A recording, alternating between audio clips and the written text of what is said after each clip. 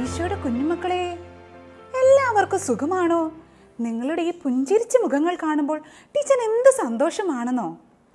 നമ്മുടെ ജീവിതത്തിൽ സന്തോഷവും സമാധാനവും എല്ലാം പ്രദാനം ചെയ്യുന്നത് നമ്മുടെ ദൈവമാണ്. നമുക്ക് ദൈവത്തോട് നന്ദി പറഞ്ഞ് പ്രാർത്ഥിക്കണ്ടേ?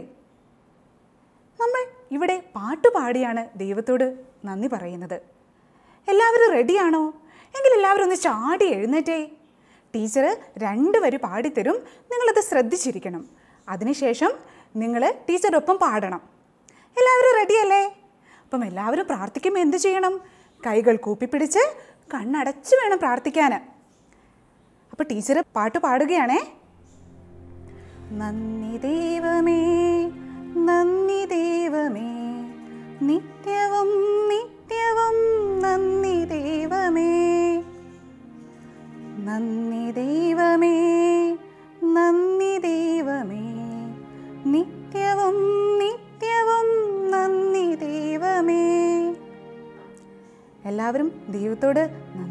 പ്രാർത്ഥിച്ചോ? എങ്കിലിനി ടീച്ചർ കുഞ്ഞുമക്കൾ എല്ലാവരും ഒന്ന് ഇരുന്നേ. നമ്മൾ കഴിഞ്ഞ ക്ലാസ്സിൽ എന്താണ് പഠിച്ചത്? ആ ദൈവം സൃഷ്ടിച്ച മനുഷ്യനെക്കുറിച്ച് പഠിച്ചല്ലേ? എങ്കിൽ നമ്മൾ ഈ ക്ലാസ്സിൽ ദൈവത്തോടൊത്ത് വസിക്കുന്ന മനുഷ്യനെയാണ് കാണാൻ പോകുന്നത്. അതിനു മുന്നേ കഴിഞ്ഞ ക്ലാസ്സിൽ നമ്മൾ എന്തോ തീരുമാനമെടുത്തിരുന്നു. എന്തായിരുന്നു? എല്ലാവർക്കും ഓർമ്മയുണ്ടോ? ആ ഇവിടെ ഒരു മിടുക്കം പറയുന്നുണ്ട്. നമ്മൾ എല്ലാവരോടും സ്നേഹത്തോടെ പെരുമാറുമെന്ന്. എല്ലാവരും സ്നേഹ സ്നേഹത്തോടെയാണോ എല്ലാവരോടും പെരുമാറിയത്? ആ ആണല്ലേ. നല്ല മിടുക്കര് പിള്ളേരാട്ടോ. അതോടൊപ്പം തന്നെ ടീച്ചർ വേറൊരു പ്രവർത്തനം തന്നു വിട്ടിരുന്നു. നിങ്ങൾ എല്ലാവരും പ്രവർത്തനം ചെയ്ത് ടീച്ചേഴ്സിന് അയച്ചു കൊടുത്തോ?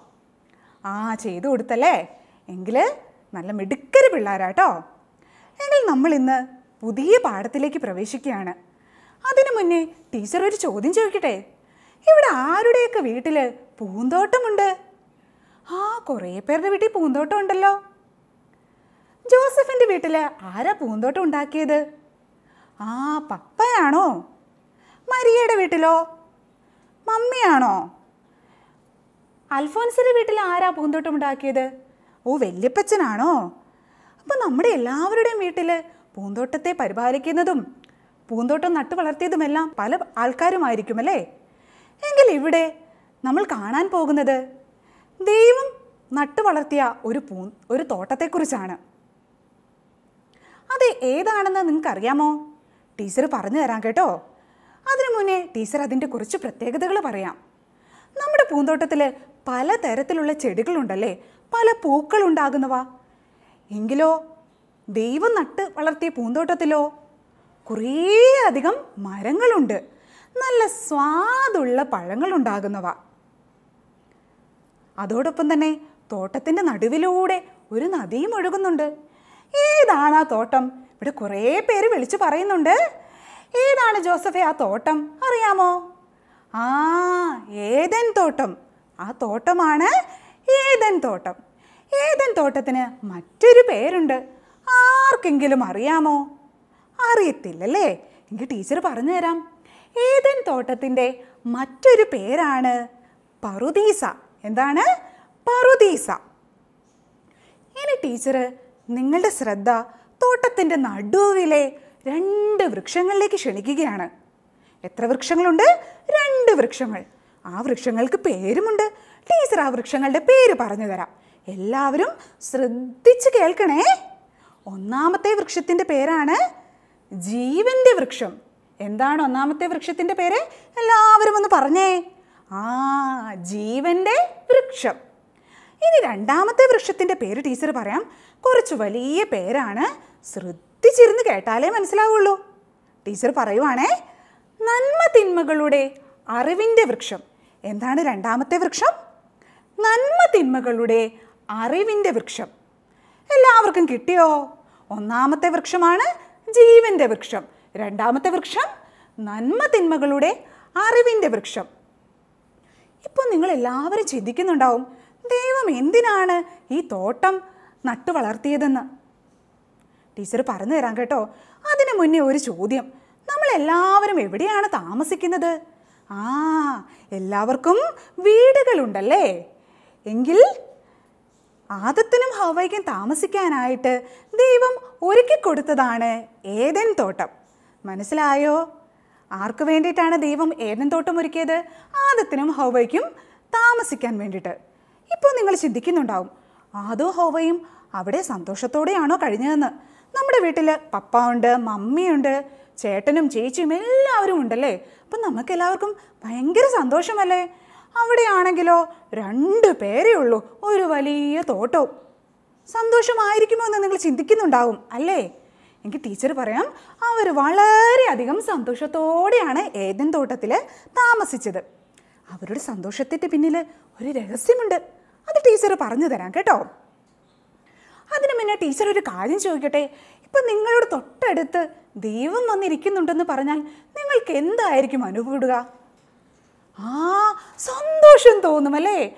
ചിലർക്ക് കുതിച്ച് ചാടാൻ തോന്നും. ആ ജോസഫിന് ഇപ്പം തന്നെ നല്ല സന്തോഷം തോന്നി. അങ്ങനെയെങ്കിൽ ദൈവം നമ്മുടെ കൂടെ വസിക്കുമ്പോൾ നമുക്ക് എന്തുണ്ടാകും? ആ എന്തുണ്ടാകും? സന്തോഷമുണ്ടാകും അല്ലേ? ദൈവം അങ്ങനെ എല്ലാവരുടെയും കൂടെ വസിക്കുമോ? ഇല്ല. ദൈവം എങ്ങനെയുള്ളവരുടെ കൂടെയാണ് വസിക്കുന്നതെന്ന് ടീച്ചർ പറഞ്ഞ് തരാം. നിങ്ങളെല്ലാവരും എന്ത് ചെയ്യണം? ശ്രദ്ധിച്ച് കേൾക്കണം. ദൈവം നമ്മളോട് കൂടെ വസിക്കണമെങ്കിൽ നമ്മൾ ചെയ്യേണ്ട ഒന്നാമത്തെ കാര്യം ദൈവത്തെ സ്നേഹിക്കുക എന്നുള്ളതാണ്. എന്താണ്? ദൈവത്തെ സ്നേഹിക്കണം. ഞാൻ ദൈവത്തെ സ്നേഹിക്കുന്നു ദൈവത്തെ സ്നേഹിക്കുന്നു എന്ന് പറഞ്ഞ് രാവിലെ തൊട്ട് വൈകുന്നേരം വരെ നടന്നാൽ ദൈവത്തെ സ്നേഹിക്കുന്നതാകുമോ? ഇല്ലല്ലേ. നമ്മൾക്ക് ദൈവത്തോടുള്ള സ്നേഹം നമ്മൾ പ്രകടിപ്പിക്കണം. അതെങ്ങനെ നമ്മൾ പ്രകടിപ്പിക്കും?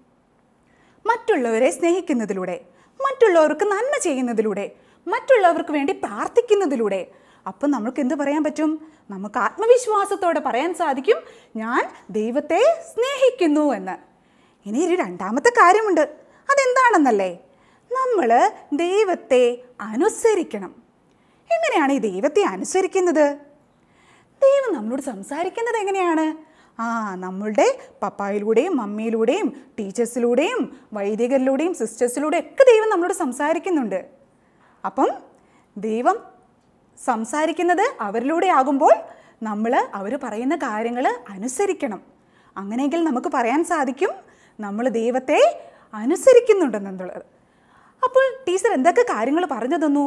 ദൈവം നമ്മളോട് കൂടെ വസിക്കണമെങ്കിൽ നമ്മൾ എന്തൊക്കെ കാര്യങ്ങൾ ചെയ്യണം? ഒന്നാമത്തെ കാര്യം ദൈവത്തെ സ്നേഹിക്കണം. രണ്ടാമത്തെ കാര്യം ദൈവത്തെ അനുസരിക്കണം. അങ്ങനെയെങ്കിൽ നമ്മുടെ ജീവിതത്തിൽ സന്തോഷം വന്നു ചേരും. അങ്ങനെ ദൈവം നമ്മളോട് കൂടെ വസിക്കുമ്പോൾ നമ്മൾക്ക് ലഭിക്കുന്ന സന്തോഷമാണ് പറുദീസായിലെ സന്തോഷം. എന്താണ്? പറുദീസായിലെ സന്തോഷം. ഇനി ദൈവം നമ്മളോടൊപ്പം വസിക്കുമ്പോൾ നമ്മൾക്ക് സന്തോഷം മാത്രമേ കിട്ടുകയുള്ളൂ. കുറേ അധികം നന്മകളും വന്നു ചേരും. എന്തൊക്കെയാണെന്നല്ലേ? നമ്മുടെ ജീവിതത്തിൽ സുഖമുണ്ടാകും.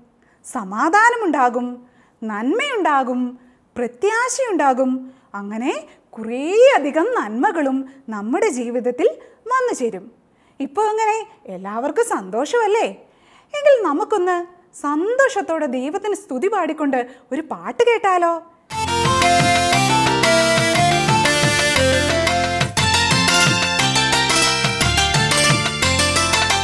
ദൈവത്തോടൊത്തിന്നും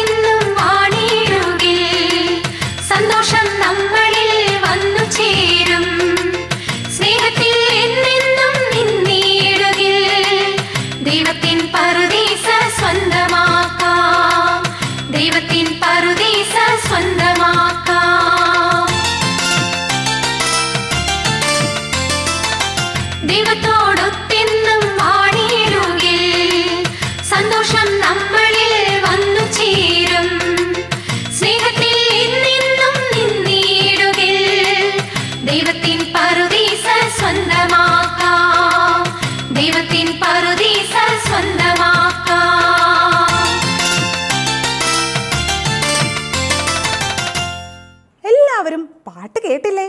പാട്ടൊക്കെ ഇഷ്ടപ്പെട്ടോ? ആ ഇനി ഇത് എന്ത് ചെയ്യണം? പപ്പായോടും മമ്മീനെയും എല്ലാം ഇത് പാടിക്കേൾപ്പിക്കണം മനസ്സിലായോ? എങ്കിൽ നമുക്കിനി ഒരു വചനം പഠിച്ചാലോ? അവിടുന്ന് കിഴക്ക് ഏതനിൽ ഒരു തോട്ടമുണ്ടാക്കി. താൻ രൂപം കൊടുത്ത മനുഷ്യനെ അവിടെ താമസിപ്പിച്ചു.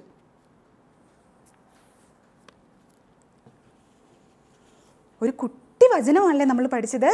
അവിടുന്ന് കിഴക്ക് ഏതനിൽ ഒരു തോട്ടമുണ്ടാക്കി താൻ സൃഷ്ടിച്ച മനുഷ്യനെ അവിടെ താമസിപ്പിച്ചു.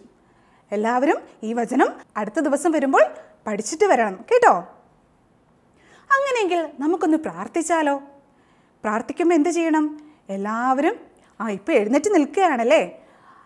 അതേപോലെ ഒന്ന് എഴുന്നേറ്റ് നിന്ന് കൈകൾ കൂപ്പിപ്പിടിച്ച് കണ്ണുകൾ അടച്ചൊന്ന് നിന്നേ. എന്നെ സ്നേഹിക്കുന്ന എന്റെ നല്ല ദൈവമേ അങ്ങയോടൊപ്പം വസിക്കുവാൻ എന്നെ അനുഗ്രഹിക്കണമേ. എന്നെ സ്നേഹിക്കുന്ന എന്റെ നല്ല ദൈവമേ അങ്ങയോടൊപ്പം വസിക്കുവാൻ എന്നെ അനുഗ്രഹിക്കണമേ. ഇനി എല്ലാവരും ഇരുന്നേ എല്ലാവരും പ്രാർത്ഥിച്ചോ? എന്താ ദൈവത്തോട് നമ്മൾ പ്രാർത്ഥിച്ചേ?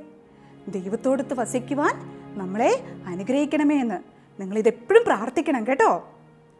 അതോടൊപ്പം തന്നെ നമ്മൾ ഇനി ഈ ക്ലാസ്സിൽ നിന്ന് പോകുമ്പം ഒരു തീരുമാനമൊക്കെ എടുത്തിട്ട് വേണം പോകാൻ എന്ത് തീരുമാനമായിരിക്കും നമ്മൾ എടുക്കുക? ടീച്ചർ പറഞ്ഞു നമ്മുടെ ജീവിതത്തിൽ സന്തോഷമുണ്ടാകണമെങ്കിൽ നമ്മൾ ആരുടെ കൂടെ വസിക്കണം? ദൈവത്തിന്റെ കൂടെ വസിക്കണം അല്ലേ? ദൈവത്തിന്റെ കൂടെ വസിക്കാൻ കുറച്ച് കാര്യങ്ങൾ ചെയ്യണമെന്ന് ടീച്ചർ പറഞ്ഞു തന്നു. എന്തൊക്കെയായിരുന്നു? ആ ദൈവത്തെ സ്നേഹിക്കണം. പിന്നെയോ? ആ ദൈവത്തെ അനുസരിക്കണം. അങ്ങനെ ദൈവത്തെ സ്നേഹിച്ചും അനുസരിച്ചും നല്ല മിടുക്കര് പിള്ളേരായിട്ട് നിങ്ങൾ വളരണം. എങ്കിൽ മാത്രമേ ദൈവം നമ്മുടെ കൂടെ വസിക്കുകയുള്ളൂ. ദൈവം നമ്മുടെ കൂടെ വസിച്ചാൽ മാത്രമേ നമുക്ക് സന്തോഷം ഉണ്ടാവുകയുള്ളൂ അപ്പം എല്ലാവരും ചെയ്യില്ലേ? ചെയ്യണം കേട്ടോ. മിടുക്കര് പിള്ളേരാണേ. ഇനി ടീച്ചർ അതോടൊപ്പം തന്നെ നിങ്ങൾക്കൊരു വർക്കും തരുന്നുണ്ട്. നമ്മൾ തോട്ടത്തിന്റെ നടുവിലെ രണ്ട് വൃക്ഷത്തെക്കുറിച്ച് പഠിച്ചല്ലേ? ഏതൊക്കെയായിരുന്നു? ഓർമ്മയുണ്ടോ? ആ എങ്കിൽ ടീച്ചർ പറഞ്ഞുതരാം. അടുത്ത ദിവസം വരുമ്പോൾ അത് പഠിച്ചിട്ട് വരണം. ഏതൊക്കെയായിരുന്നു? ഒന്നാമത്തെ വൃക്ഷം ജീവന്റെ വൃക്ഷം. രണ്ടാമത്തെ വൃക്ഷമോ? നന്മ തിന്മകളുടെ അറിവിന്റെ വൃക്ഷം. ഈ രണ്ട് വൃക്ഷങ്ങളുടെയും ചിത്രങ്ങൾ വരച്ചിട്ട് അതിന്റെ അടിയിൽ ആ വൃക്ഷത്തിന്റെ പേരും എഴുതി നിങ്ങൾ എന്ത് ചെയ്യണം? നിങ്ങളുടെ ടീച്ചറിന് അയച്ചു കൊടുക്കണം. മനസ്സിലായോ? എല്ലാവർക്കും മനസ്സിലായില്ലേ ടീച്ചർ പറഞ്ഞ വർക്ക്? അപ്പം എല്ലാവരും നല്ല മിടുക്കര് പിള്ളേരായിട്ട് ചെയ്യണം കേട്ടോ. നല്ല മിടുക്കര് പിള്ളേരായിട്ട് വളരുവാൻ ദൈവം നിങ്ങളെല്ലാവരെയും അനുഗ്രഹിക്കട്ടെ. ഇനി അടുത്ത ആഴ്ച നമുക്ക് കാണാം. അതുവരേക്കും ദൈവം നിങ്ങളെ സമൃദ്ധമായി അനുഗ്രഹിക്കട്ടെ. ഈശോമിശിഹായിക്ക് സ്തുതിയായിരിക്കട്ടെ. കൈകൾ തട്ടി തട്ടി പാടാം. കുഞ്ഞിക്കാലുകൾ തുള്ളി തുള്ളി യേശുവിന്റെ